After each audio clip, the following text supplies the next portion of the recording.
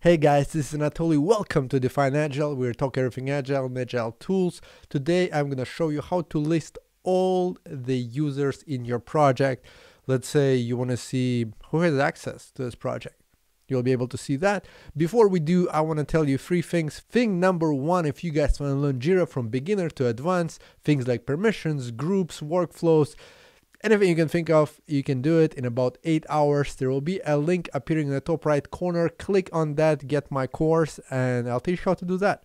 Thing number two, if you guys are stuck with anything Jira, you need to have solution quickly.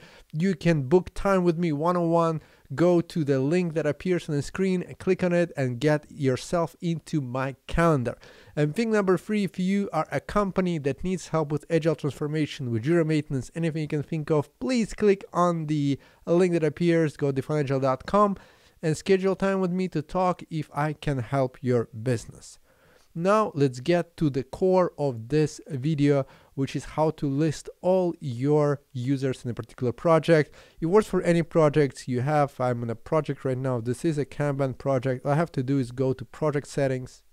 I click on people and here you go. This is a list of all users in your project. Hope it helps. If you have any questions, let me know in the comments below. If I helped you, please do two things. Subscribe and like this video because it will spread to more and more people in YouTube. Thank you for watching. Talk to you next one. Bye bye.